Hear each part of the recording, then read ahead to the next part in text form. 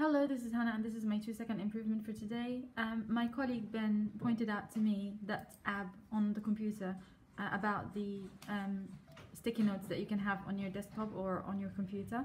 So because um, I keep asking our customers to make sure that they copy every, they copy the company, the, the main email of the company to the email so that just in case if I'm not here or I'm in training or etc.